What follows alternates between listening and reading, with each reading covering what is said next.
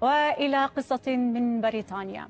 منذ أن وضعت الحكومة المحافظة في بريطانيا قضية الهجرة على رأس أجندتها. لم يتوقف دفق القصص الصادمة التي تعكس ما وصفته منظمات حقوقية بالاستعداء الممنهج للاجئين. ترحيل طالبي اللجوء إلى رواندا في انتظار البث في أوضاعهم ليس أسوأ قرار الحكومة. فقد كشف تحقيق لصحيفة ذا جارديان البريطانية أن هذه السياسة شجعت شبكات الجريمة المنظمة على اختطاف عشرات اللاجئين من الأطفال غير المصحوبين بذويهم. وكشف متعاقد مع وزارة الداخلية أن عشرات الأطفال غير المسجلين اختطفوا في سيارات من أمام الفنادق. ويقول إن المتاجرين يستغلون سياسة ترحيل طالبي اللجوء أداة للتجنيد.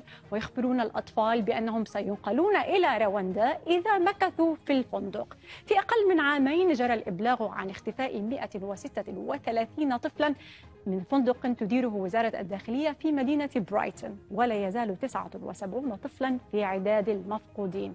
على مدار عام كامل دأب المتعاقد على إبلاغ الشرطة عن حالات اختفاء الأطفال دون فائدة. وبعد أن فقد الأمل اضطر لإبلاغ, لإبلاغ الإعلام عن كذب مزاعم وزارة الداخلية بأن جميع المهاجرين القُسّر في رعايتها يتمتعون بالدعم والأمن الذي يحتاجونه. اختفاء عشرات الأطفال المهاجرين وصف بالفضيحة وسط مطالبات بمحاسبة وزارة الداخلية.